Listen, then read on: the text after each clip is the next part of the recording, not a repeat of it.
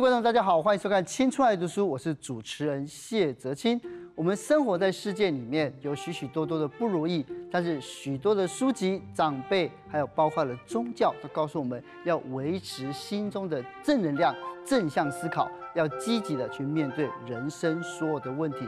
但是哲学家不会这么认为，实际上他们在思考人的生活的时候，他会发现我们生活里面真正充满冲突。我们来看一下，这是一位非常特别的艺术家，他是来自于瑞士的杰克梅蒂。杰克梅蒂生长在十九世纪，他成长于这个第一次跟第二次世界大战之间。在两次大战之后，欧洲弥漫着存在主义的思考。存在主义思考的是人生活在一个无意义的世界里面。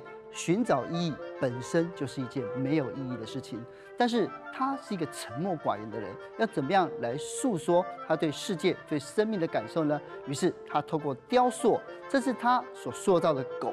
你可以看到，当我们被世界侵蚀、剥夺之后，只剩下形单影只，然后非常瘦弱、脆弱、不堪一击的自己。实际上，你看到一九六零年代杰克梅蒂所塑造的行走的人。它的核心讲述的就是我们生活在现在的世界里面，以为满满的正向思考就可以来有能量来面对社会，实际上最后也只剩下脆弱的自己。我们今天要跟大家来谈的这本书，实际上非常的有趣哦。那在二零一五年开始，从脸书的这个分享。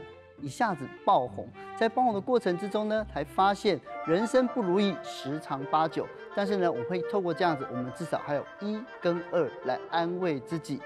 我们跳脱了传统以这种正向思考的语录来鼓励大家，负能量变成了这三年来非常特别的一种文案主流。到底什么是负能量？我们为什么又需要负能量？而作者。林玉胜老师到底又是一个什么样的作家呢？我们一起来看一下 VCR。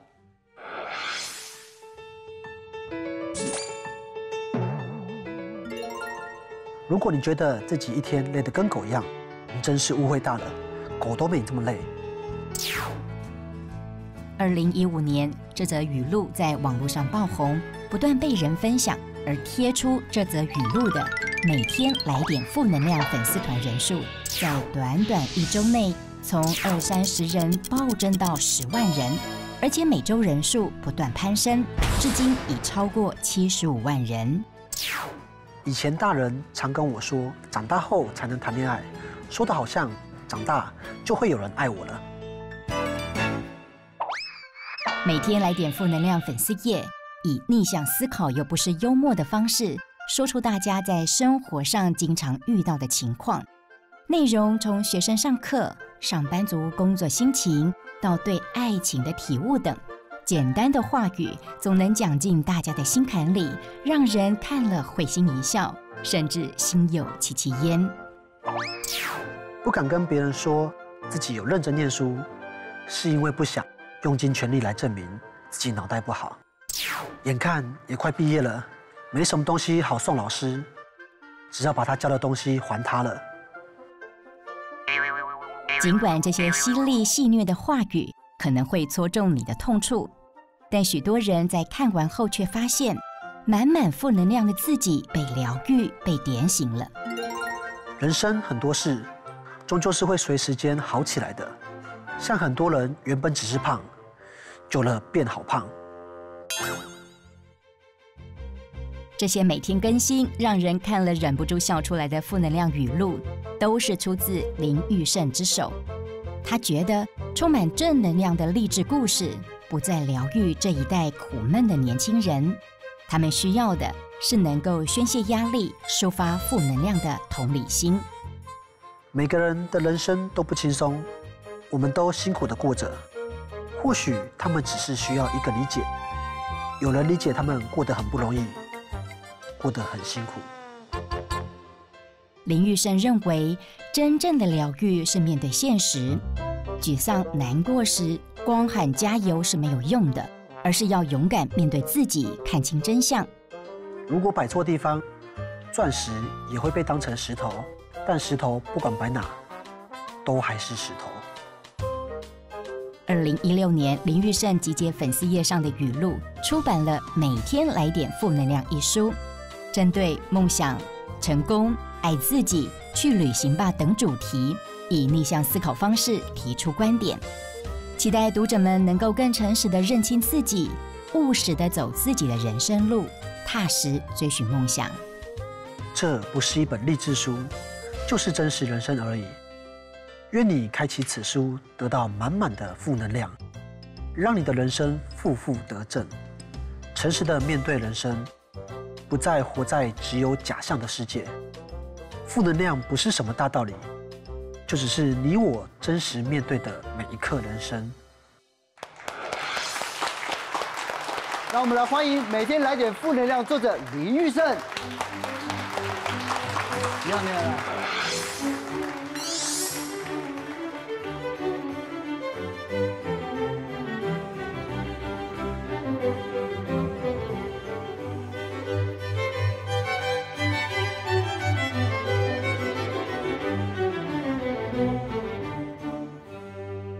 今天见到本人，有没有感觉很奇特呢？我们一直以为负能量就是那只猫血，哦，但是今天看到玉胜的时候，发现说，因为他跟我们想的可能不太一样哦，因为我们都认为他可能是有点 hip hop，对，但实际上呢，他其实他对人生是非常非常严肃哦，教我们真实的来面对人生。那但是呢，在开始之前呢，我为玉胜来介绍一下我们今天来录影的朋友哦。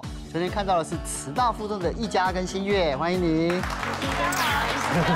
然后接下来看到是高雄的凤新高中的宇豪跟易龙，德军哥好，玉生哥好。好，接下来我们看到是台南职中的千化跟博翰，然后最后面呢，我们看到是大学生代表，有台大的嘉荣，还有辅大的婷珍。好，我们可以看到现在呢，呃，无论是厌世的的题材，或者是负能量的题材，在当今的台湾社会，实际上相当相当受欢迎哦。可是呢，我们要先在开头要先请玉生来跟我们来来讲清楚几件事情哦，因为很多人会把负能量跟负向的思考啊，跟负面的情绪做一个连接。你自己怎么看呢？我觉得在过去看正太多正能量才会心情不好吧。对，所以我觉得负能量它不算是一个负面思考，或者是一个会看了心情不好。嗯，反而很多人看了我的负能量，哎，心情反而变好了，是更开心了。因为看了很多正能量，反而发现到它跟现实生活不符合，脱节。对，那看负负能量才发现，哎，这就是真实人生啊！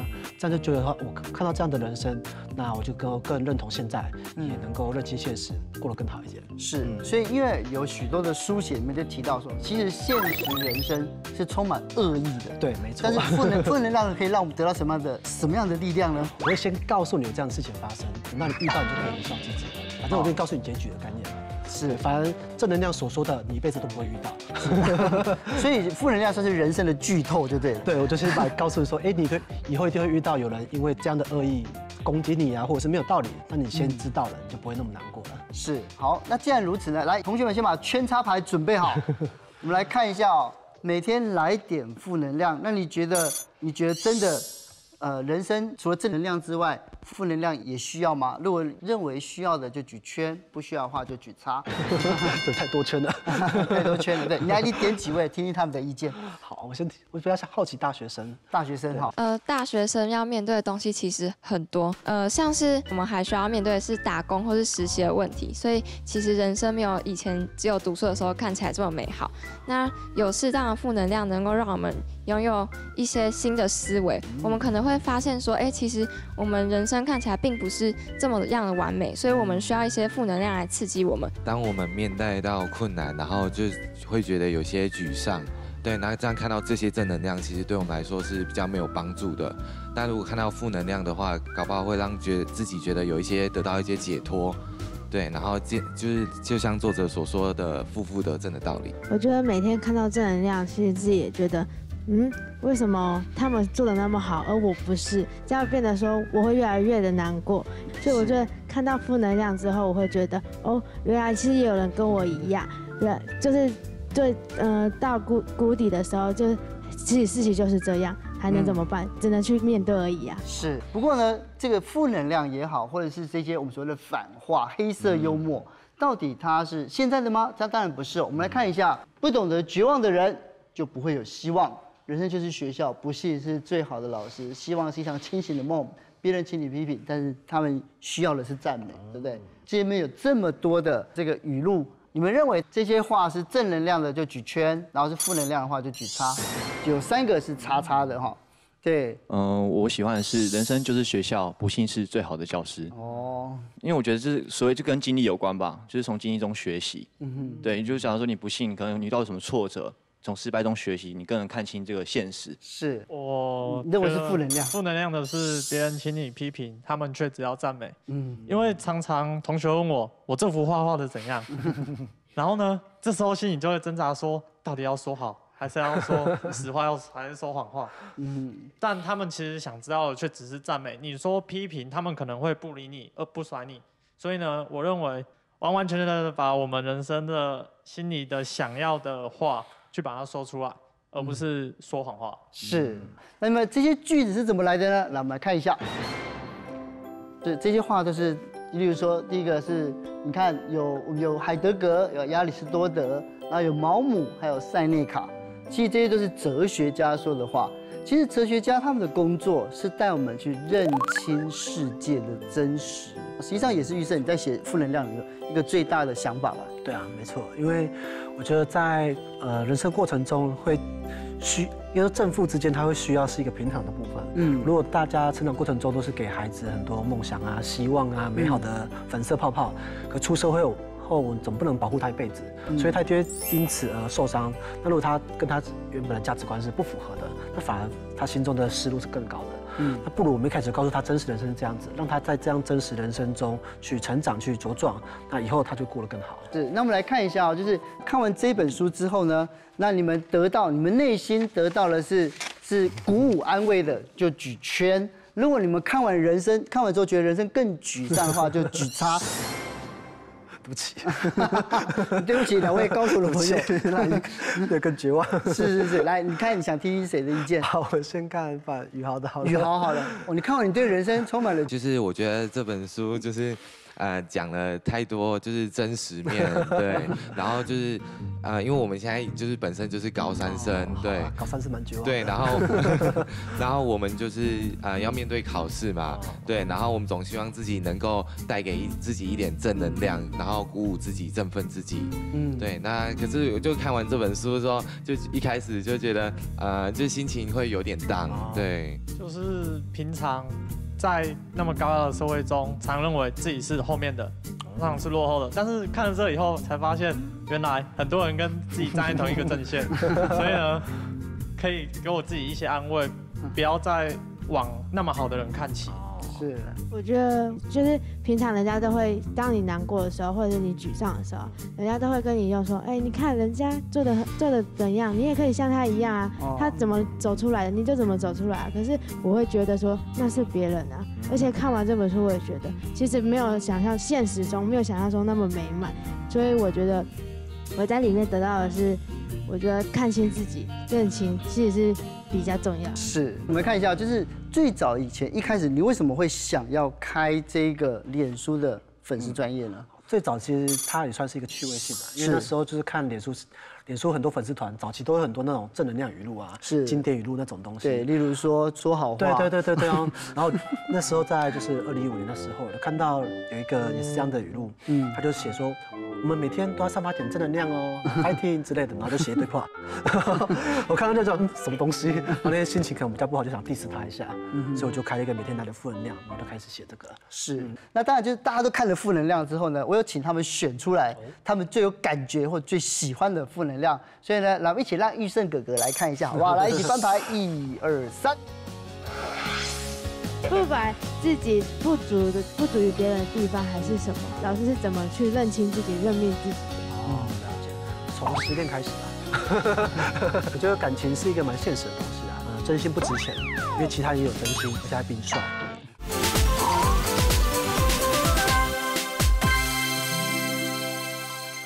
来，一起翻牌，一二三。哦，对。有时候我们讨厌的不是失分，是说出事实的人，是真的。就是有时候别人会想要听到你的赞美，不管是对哪件事情，就是如果他询问你的意见，通常是会想要听到赞美的话。嗯。但是要是你。就是说出一些否定他的话的话，然后他又回过来批评你。就我从小是一个比较钻牛角尖的人，我就还有选择困难，所以因为这样，我朋友常常跟我说。啊，你不要那么喜欢钻牛角尖，很多事情其实没有你想的那么难。所以我觉得这句话就觉得让我知道，其实有时候随便的态度也是可以有一番风景。我想在大部分在校园中的学生应该都会有经历过这种暗恋、对感情的问题。对对，那现在电视剧跟那些小说跟我们讲的就是。男主角总是要痴痴的等，默默的等。现在还有这种小说吗？对，就是 已经不会卖。男主角可能是暗恋，可是他就是痴痴的，然后默默的付出，然后到头来一定就是女角一定回头。没有没有，现在的韩剧都也不演这样子，韩痴痴的等都会被别人追走的。小时候小时候看的，就是可能就是暗恋，就是内心就去美化自己对他痴情这个行为。虽然现在知道的话，以后感觉更顺利的。是他感觉他也是受过伤这样。然后，其实呃，我们从小到大都鼓励年轻的朋友。要看到自己的独特的地方，然后要完成成就自己的不平凡，不是吗？对不对？那我们世界也是因为这样子，因为我们认为我们会做一些不平凡的事情，所以我们才能改变世界。对，但是这也是为什么负能量出来的时候，你也会 你也会碰到很多的有意见的人，没错，对不对？那这些过程里面，其实务实做自己，然后认份，要认命。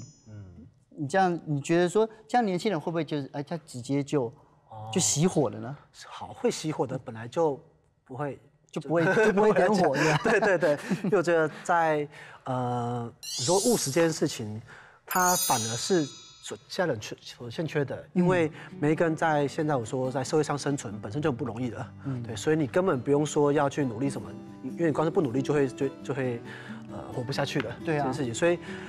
在这世界上去强调成为勇者或者成为啊，在我书中里面写到，就是说，我们去看那些勇者，如果每个人都去当勇者的话，那是来当村民啊。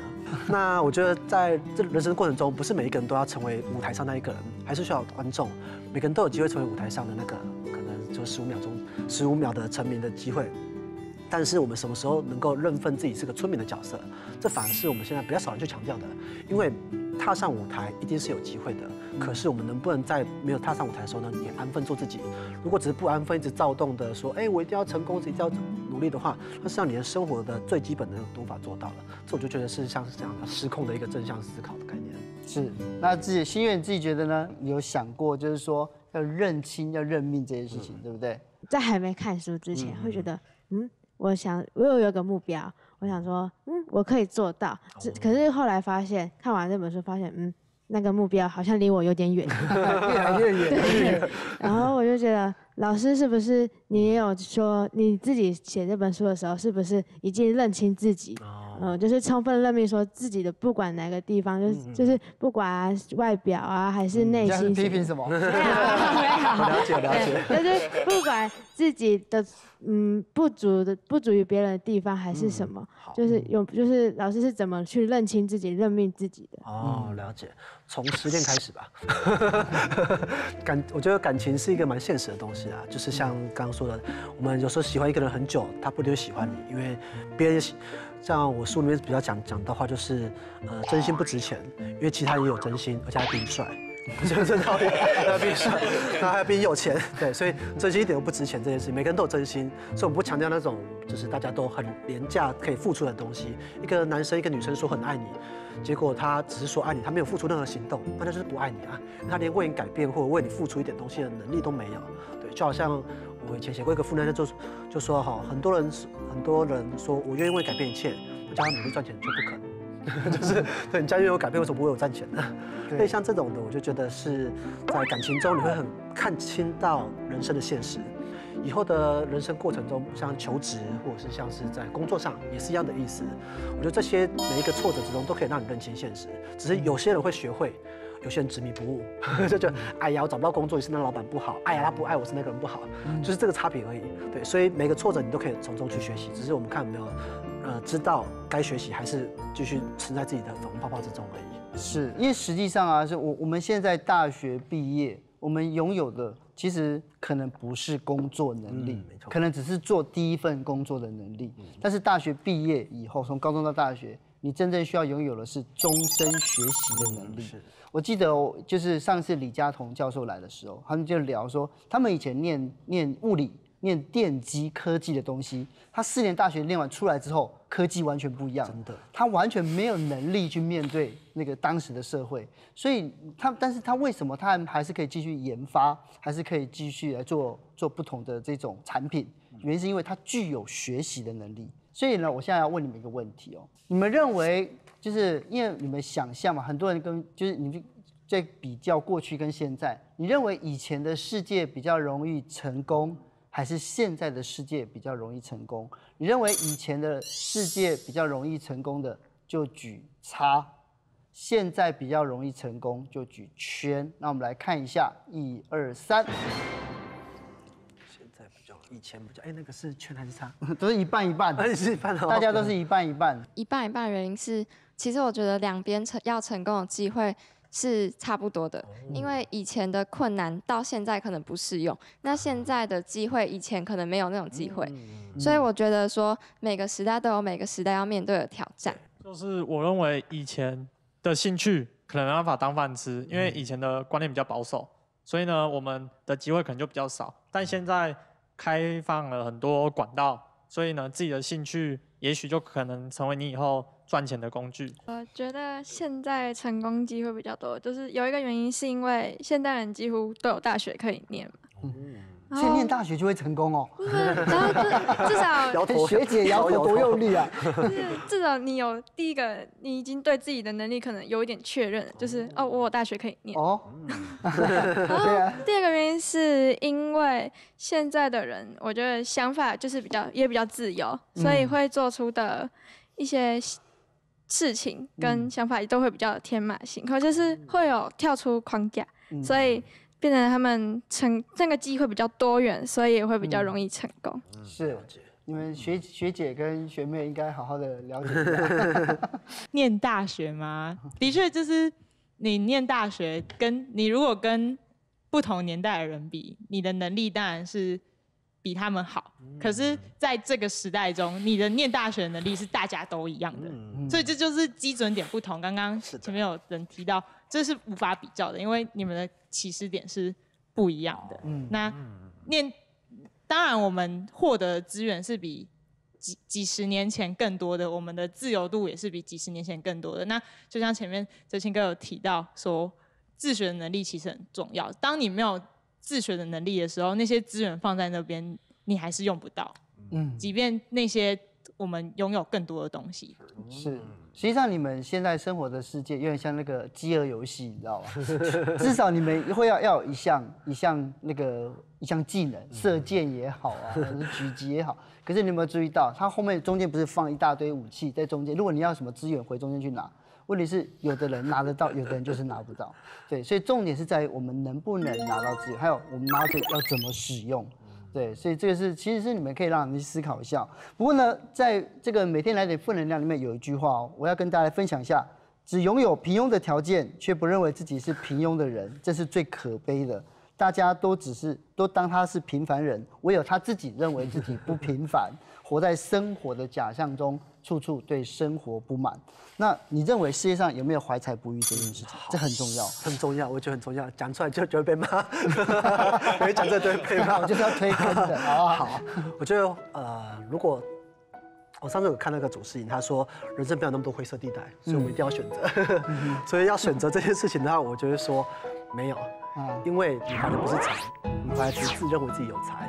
因为市场会打脸，市场会把认为自己怀才不遇的人狠狠打脸，然后他就会觉得，哦，我就是怀才不遇啊，实际上根本就没有认为他有才这件事情。嗯，而我认为怀才不遇是当下的状态，我现在怀才不遇，不是代表未来怀才不遇，因为代表你的才还不足以让你被遇到。就是最简单是冰山嘛，冰山要被看到的时候，它底下已经累积了很多。每个人也是一样，像我们现在，如果为什么会看到那么多，呃，刚刚讲成功的时候就想讲这件事情，就是我们认为什么是成功。像 YouTuber 叫百万订阅是成功吗？那他这百万订阅 YouTuber 倒了之后，他还算成功吗？这种成功的定义就是我们这时代要去最去避免的，被很多人看到赚很多钱，找到有人爱我什么的，这都是成功吗？这不一定。以这时代这么多舞台的情况下，如果你的东西还没办法看见的话，不好意思，那个可能就是自己的问题。我认为是这样子的。因为像刚刚讲的，现在已经这么相对来说已经比较自由的情况下了，那你怎么还会去找到，还会觉得自己有才没有被看见呢？那你开个 YouTube 啊，你开粉丝团啊，你如果你很会跳舞的话，你就开个 YouTube 看有谁用抖音也可以啊，用抖音也可以啊，对不对？那结果如果你今天很觉得自己很会唱歌，开了一个 YouTube 频道啊，每天只有两个点，只有两个观看，一个是你，一个是你妈，那这样 那这样你是没有你不会唱歌的，对？我觉得就是这样的概念而已。当然还是有很多人他认为自己有一定才华没被看见，那实际上就代表着拥有同样才华的人都比你厉害。拥有同样才华的人，他们拥有其他特质。比你更厉害，包括他们可能更会写文案呐，他们可能更会经营粉丝团呐，他们可能外在条件长更好看呐，他们可能家里更有资源背景的。你没有去看那些，你只看到单纯你手上的才华比对方厉害的话，那我觉得就是自己的怀才不遇的匕首之争而已。是，好，我要问一下婷真哦，你自己觉得自己条件好不好？我是觉得是跟就是社会竞争条件，你自己觉得呢？我觉得我条件算是不好的，因为为什么不好？哪里不好？呃，我觉得我没有特别聪明，就是我如果要课业上如果要看东西的话，我可能要努力很多次。嗯，但是我觉得这是可以弥补的，就是熟能生巧这样。所以其实虽然我自己很明白我条件并不是特别好，但其实我不会表现出来，但是我会自己知道，可是当做自勉励自己的一个。一个想法这样哦，是，我觉得你有这样的想法就已经条件不错了。对啊，对，但我要问一下，就是因为你自己想要，就是说，因为你现在很很快就要面临出社会，也许念完研究所，但是你可能会出社会，你有没有想到过你人生也要，你有没有设定什么样子的成功？有没有？嗯，设定成功，我觉得对我来说太远了。但是我现在能做的就是，我能定一个短期目标，譬如说。我希望我未来可以去实习。那我去实习的时候，我可以决定我要找什么样的公司，这是我可以做的。但是如果太长远的东西的话，对我来说是遥不可及的一个东西。想都没有想过这个。我我是觉得说想比较近的东西是比较切实的，这样是蛮成功的。我看，那你呢？你有没有你自己认为现在条件好不好？呃，我认为现在的条件就是跟你同年龄的人竞争的话，算不错了，因为 至少家长不会像穷到都没有给你书读，对，或者是没有给你一些资源。现在家长就是你需要的他会给你，但是可能有些你想要的他可能不会给你，但是没关系，我觉得你需要的这样就够了，不一定一定要去要求到什么资源自己去赚。自己去创造，不一定要靠背景。是，但我们在看到，就是我们今天呢，就针对这个每天来点负能量，实际上呢是看清自己，也看清事实。那实际上年轻朋友都认为说自己的条件应该都还不错，那为什么哎，这离成功越来越远呢？那那当然呢，就很多观众在看的时候，他们可能看过《每天来点负能量》这本书，但是不了解。每天来点负能量是一个什么样的粉丝专业？而且更奇妙的是，这本书的续集它就是告别之作了。到底发生什么事呢？我们一起来看一下 VCR。很常有人说青春无敌，其实是好看的青春才无敌。很多人不是不努力，而是努力了，也就这点表现。每天来点负能量粉丝页，每每 Po 文总能勾起无数人共鸣，获得几十万人按赞。很多人好奇撰写这些语录的林玉胜是个什么样的人？是喜欢嘲讽、说话很酸的愤青吗？事实上，念电脑通讯工程的林玉胜，当初因为喜欢玩电脑，读了自己没兴趣科系的他，勉强毕业后在企业上班，负责社群行销，也就是现在常见的脸书小编。对社群经营充满兴趣的林玉胜，在决定创业后，选择用经营粉丝团方式来证明他可以靠文字过日子。他开设了各种粉丝团，撰写自己有兴趣的内容，每天来点负能量。粉丝页意外爆红后，成了他的代表作，也让他的文案公司受到瞩目。不过，令人跌破眼镜的是。二零一七年十月，他关闭了这个拥有七十几万人的粉丝团。他说：“做这个决定需要比离职更要勇敢些。”但他认为，成熟就是知道什么时候该结束一件事，为自己搭个台阶，在摔下来之前，慢慢地走下来，然后消失在人群的目光之中。过回不被注目的生活，才有可能再次超越曾经的自己。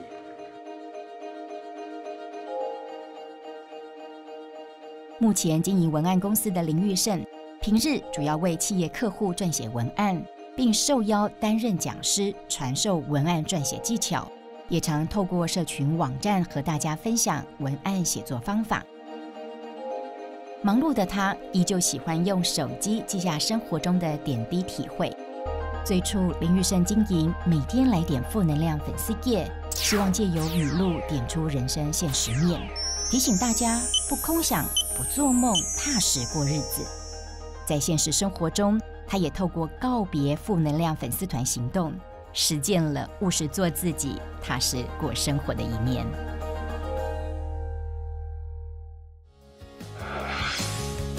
以前在负能量的写的素材，我有几个素材，就是矮、丑、胖、穷、贫。对，后来就变成只有人生、爱情跟工作，所以它里面是没人受伤的。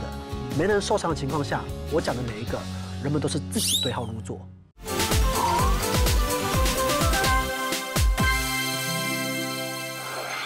每天来点负能量呢？从零到七十万，在二零一七年的十月却正式关闭。它它不是意外关闭的，是正式，而且已经早一年就宣告，就就预告。为什么要做这样的决定呢？好。是在二零一六年底的时候，那时候我就跟我的编辑，就是那个书的编辑讨论这件事情。我说：“哎，如果把粉丝团停止更新，会不会影响书的卖的状况？” 他说：“嗯，也应该可以，应该可以啊。”所以后来才出了，这是出了第二本书。那那时候我看到负能量，第一个负能量的概念已经在社会上算是大家都可以理解的。最大差别就是，以前人家讨厌负能量，就说：“啊，你不要散发负能量那种感觉。”但现在很多人会在脸脸书上。Hashtag 写说啊，我好喜欢负能量。我觉得光是这个名词的改变，它的意义就达到了。嗯，对，这个是我认为每一个人就是要知道自己什么时候该结束一切。嗯，在粉丝团这个经营来说，两年多来，我觉得他能够写一辈子吗？实际上是很困难的。我常说少年得志大不幸，因为 我们人生的余生都要用尽全力去超越过去的自己。嗯，那它算是我一个作品，我不会把它当做是我人生的目标。它是一个粉丝团，它不是我人生的方向。我自己有自己的公司，我自己有自己的人生目标。如果我今天是二十岁就这个粉丝团就红的话，或许就这样下去，对，或许就这样下去了。但并不是，我的人生目标已经蛮蛮确定的。它是我一个创作的文字作品出来，那文字作品就让它留在过去，而不应该成为影响我人生未来。那我们身为创作者的话，我们应该知道不应该沉浸在过去的作品的荣光，嗯，那写到这样子再写下去，只会越来越不好笑而已。对，那在他我觉得这个很大家很注意到他的情况下，我自己把选择把它结束，停止更新，让我能够有机会去挑战其他事情，这是我这个该做的。是，所以呢，在这里面呢，当然大家觉得有点可惜，但是实际上呢，后来想一想，实际上这是人人面对我们真实人生应该要做的决定哦。那关于这点，哎，博翰有问题哦。我想问玉生老师，我们平常学科有作文，每次想那个 就五十分钟就没了，但是出来的成绩也不怎么样。那想请问老师，您说这些语录、打这些语录、写这些语录的时候，要怎么用什么方法，用诙谐的语言，让我们年年轻人知道这是什么意思？请问是后天的培养还是天生的？哦，了解，好。所呃，人生所有一切技能都是后天的，说体能啊，体能、体能、身体状况以外，但是所有的一切，呃，技能上，我认为都是后天的。嗯，对，后天的。那在我个人来说，我并不是一个说话反应非常快的人，可是我文字可以让我慢慢思考，可以让我去调整这一切。嗯，对，所以在看负能量语录的时候，会发现到它前几句是一个平平铺直述的叙述过程，嗯，后面去做一个反转。那那句反转就是花一些时间去调整这些东西。嗯，对。那一个语录出来，它背后可能写了两三个版本，然后就挑这个，哎，这个比较好笑，然后就转。就把它用出来了，所以这也算是一个我觉得累积的一个过程。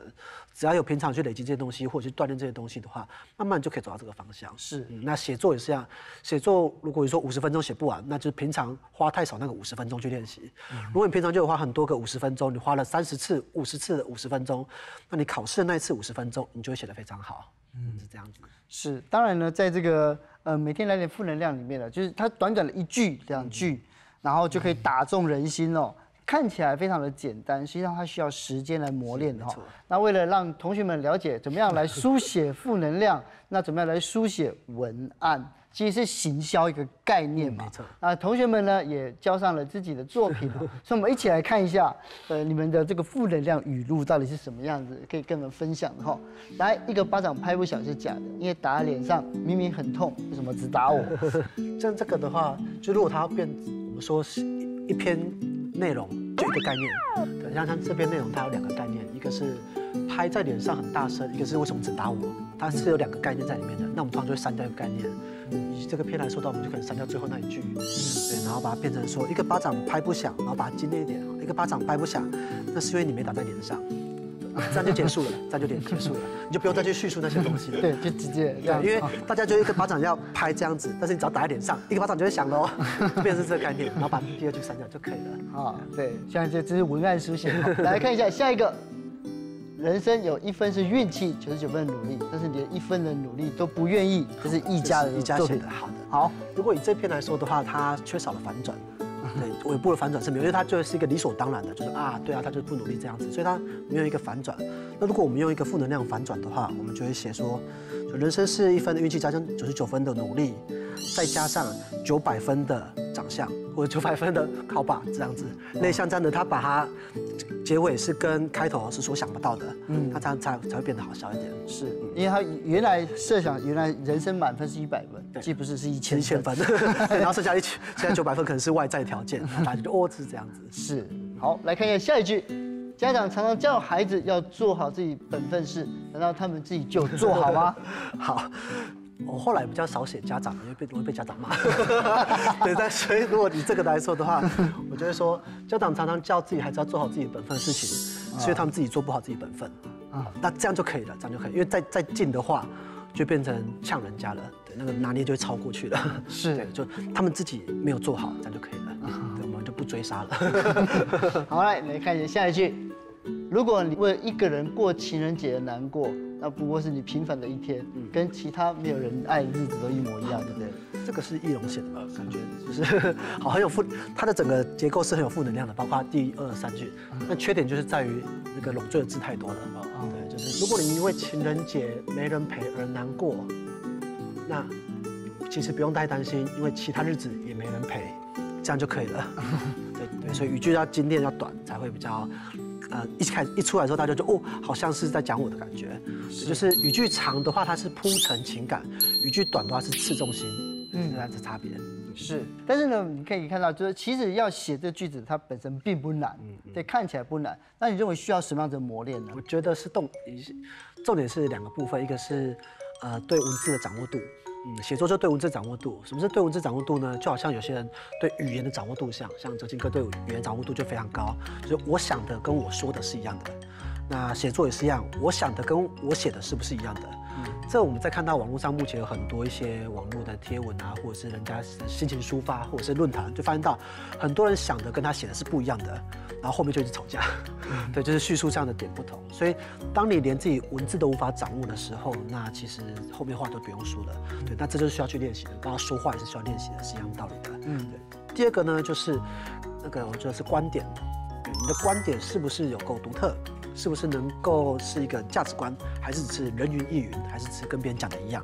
这我们就说到写文案，它其实就是就是写一句广告台词的话，如果你的广告台词跟别人广告台词是一样的话，那我们就不用讲差异化了，我们就不用讲品牌独特性了，对不对？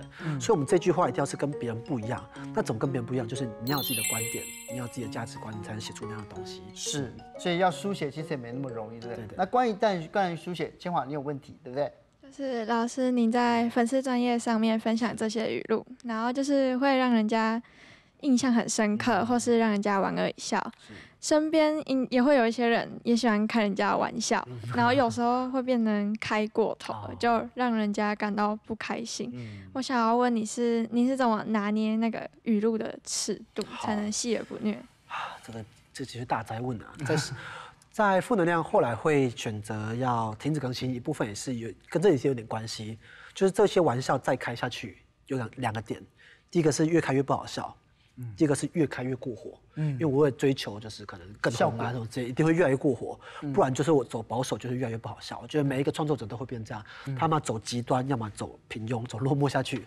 对，那以前在负能量的写的素材，我有几个素材，就是矮丑胖穷贫，对，矮丑胖穷贫，对，矮跟贫是关于身体特征的，所以后来这两个就没写了，因为他曾经被他骂过，那就变成丑胖穷，丑胖穷是一个相对观念，对，那这五个点。后来就变成只有人生、爱情跟工作，人生、爱情跟工作，这是会变这样点，是因为，呃，就是拿捏尺度的关系。以前在粉丝团比较没那么多人看的时候，我可以尽量的写，所以这些东西尽量写出来。可是后来越来越多人看后。这些矮丑胖穷品的概念会被更多元的解读，嗯，那就可能产生了，就是我们觉得啊，怎么写成这样子啊，怎么不好？因为它已经不是一个小众的东西了，它是一个大众的东西了。那变成是人生、工作、爱情，就是大众化的东西。所以这个算是一个梗的一个拿捏跟演变的过程。那在系列这件事情，负能量最大的跟酸言酸语最大一个差别在于说，你去看负能量的语录，没有人受伤，它里面绝对不会针对某一个人。某一个你想得到的族群去受伤，老板不算族群，老板算是一个形象 对，不会说有某个职业啊，某个某个族群他在那边，他说他里面是没人受伤的，没人受伤的情况下，我讲的每一个人们都是自己对号入座，我讲的丑，我讲的丑是你自己对号入座的，我不会说谁谁特别丑，我不会说做某个职业特别穷这样子，是你去对号入座的。你才会笑，你才会觉得啊，是在讲我，在讲。可是你不会觉得攻击你，这个最大的差别。酸言酸语是有对象，我是没有对象的。所以里面讲的每一个，这就是所谓的拿捏。在我后来中去除掉身体特征，因为身体特征是会被带进去的。可是如果是一些收入啊那种是主观特征的话，它是对号入座的，这就所谓的拿捏。我觉得要讲到这部分，这个洞察点就在于说，我们能不能去了解到别人看到这句他会怎么想。他是觉得啊，居然这么直接讲到我，还是哎，这好像我，这是最大的差别。好，那当然了，这个我们在今天的录影里面呢，针对负能量这个概念呢，提出了很多的讨论哦。那当然你们也有很多自己的疑问，那我相信呢，玉生哥哥 对他已经尽力了，很充分的去解答你们的问题。哦，那最后面呢，你送一就是送一些你觉得他们高中生要怎么样去看清他们的生命跟好，在我觉得人生历程中我。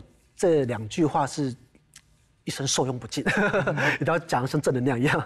好，就是选择比努力重要，运气比实力重要。很多事情呢，出生下来就决定一切了，我们很难改变那些。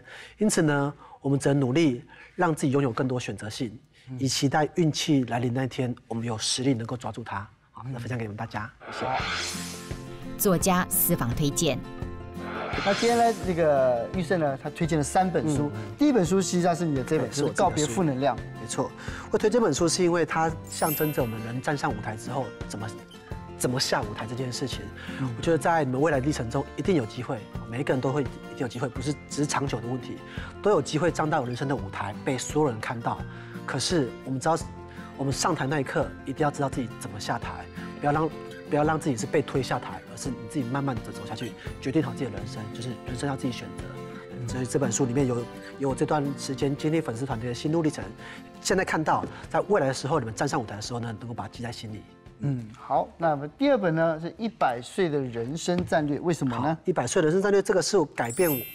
呃，改变我后半生在人生规划中很重要的一本书。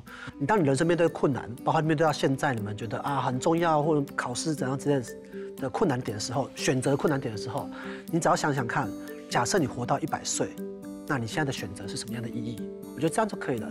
这本书说到一件事情，就是说，当很多人你要活到一百岁的话，你可能七十岁退休了，你还有三十年要活。三十年呢，你现在活到三十都还没活到三十岁，但是你那时候还有三十年要活，你要怎么规划你的人生？有时候我们觉得啊，找工作，呃，二十岁找工作，三十岁结婚生子很重要，还有七十年呢，你的人生绑在那个价值上面吗？你有可能六十岁还遇到一个真爱，有可能七十岁还创业，有可能八十岁还读一个硕士，这都是有可能的。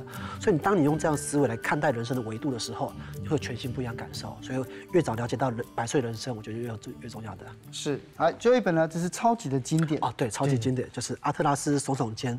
阿特拉斯总总监他在说一个。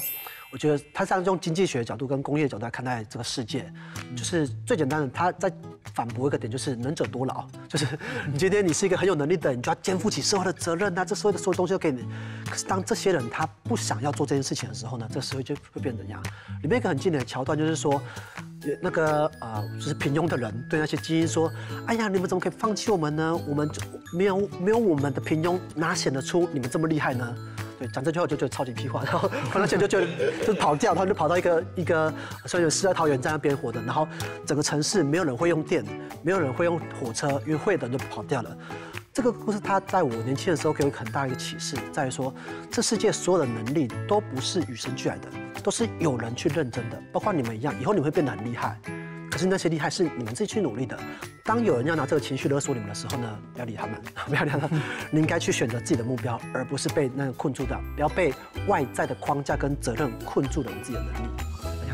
但他书真的有点厚，厚，而且是三大册哦。对，三大册对吗？这是小说，对，所以就是你们择一黄道吉日再使用哈。好，那当然了，在今天呢，无论是负能量，或者是社社群的文案写作，然后到阅读呢，那玉胜跟同学们也有很。有很多有趣的讨论哦。那今天非常感谢玉胜来到现场，谢谢大家。同学们，希望你们人生呢，在从负能量的语录里面可以得到这个正面的思考跟跟跟想法，好不好？谢谢谢谢大家，谢谢。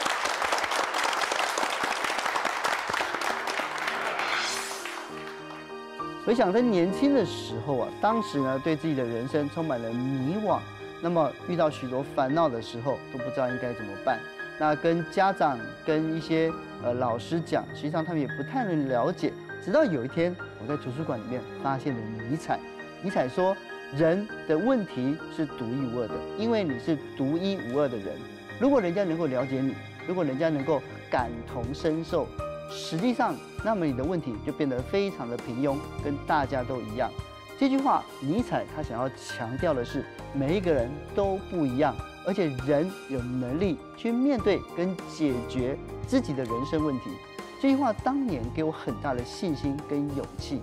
他紧接着又写了，他引用了卡莱尔在《英雄与英雄崇拜》里面这本书所讲的：人生下来就是要成就自己的伟大。所谓的伟大，并不是轰轰烈烈的事业，而是完成独一无二的自己。这是哲学家带给我们的人生有益的解答。实际上呢，在这本书里面，人生问题的有益解答，伟大的思想家如何解决你的烦恼，这里面提出各式各样的方式。实际上，我们所面对的人生问题，所有的人之前他们都面对过。没钱的时候怎么办？在团体里面被讨厌，我们应该如何？到底在社会里面我们被排挤的时候，我们要怎么样自处？实际上，这些事情，哲学家、思想家。艺术家、文学家全部都想象得到。如果你的人生正面临一些烦恼，或许这本书可以给你有一些有益的答案。